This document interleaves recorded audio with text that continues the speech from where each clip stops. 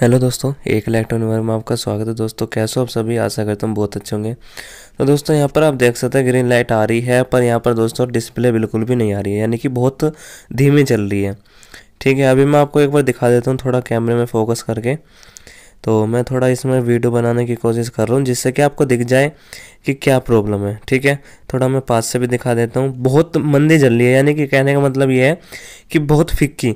ठीक है, अंधेरे में जाके पता चल जाएगा। वैसे तो दोस्तों अभी हमने अपनी दुकान में रख रखी है।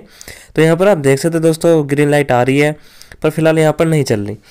तो हमें देखना होगा कि किस वजह से नहीं चल रही है यहाँ पर। तो अभी मैं थोड़ा फ़ोन की टॉर्च भी दिखा देता हूँ।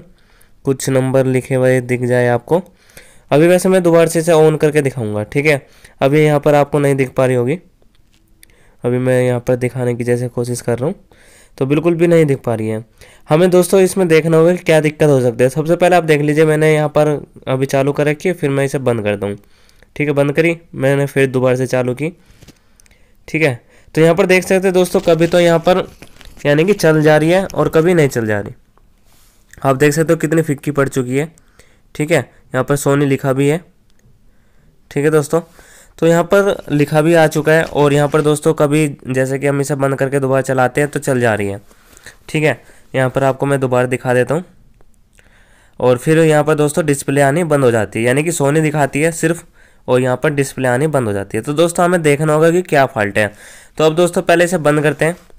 ठीक है? यहाँ पर बंद किया और बंद करने के बाद मैं इसे काउंटर पर रख लेता हूँ जिससे कि आसानी हो रिपेयर करने में।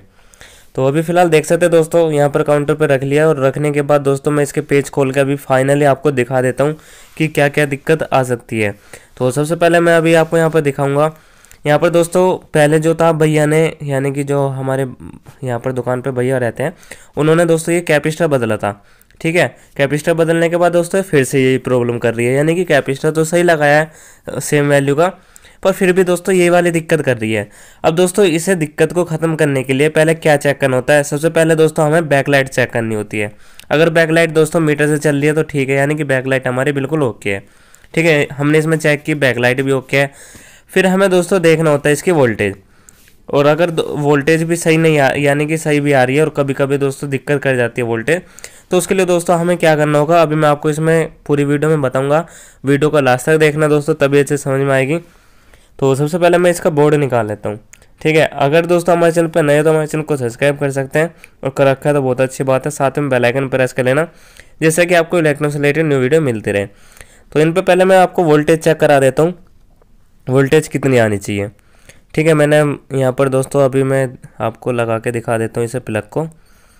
ठीक है, यहाँ प्लग लगाया मेन बोर्ड में और यहाँ पर यानी कि स्विच ऑन किया। ग्रीन लाइट आ चुकी है, आप देख सकते हैं। ठीक है, यहाँ पर चल भी चुकी है।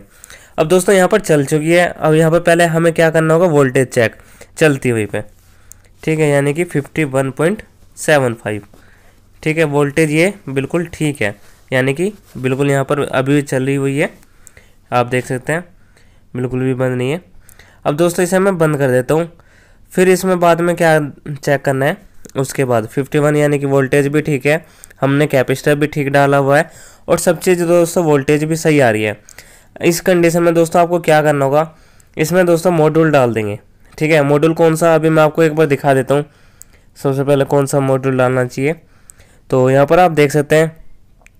मैं दोबारा से इसे ऑन करता हूँ अभी।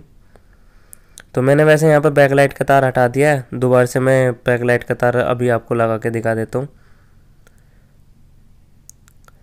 ठीक है। तो यहाँ पर आप देख सकते हैं, अभी मैंने बैकलाइट का तार हटा रखा है यहाँ पर। तो अभी मैं पहले एक बार वोल्टेज चेक करा देता हूँ, दोबारा से। तो दोस्तों, यहाँ पर अगर आप मॉड्यूल लगाना चाहते हैं तो कैसे कैसे लगाएँगे? अभी मैं यहाँ पर वही दिखाने वाला हूँ, बारह वोल्टेज यहाँ पर मिलती है हमें, बारह पॉइंट सत्रह। तो दोस्तों प्लस और माइनस वोल्टेज है यानी कि बारह वोल्टेज ठीक है? बारह वोल्टेज आप देख सकते हैं, यहाँ पर बारह वोल्टेज है, और यहाँ पर हमें ये वाला मॉड्यूल लगाना है। अब दोस्तों, ये वाला मॉड्यूल कैसे लगेगा, मैं वो भी आपको दिखा देता हूँ।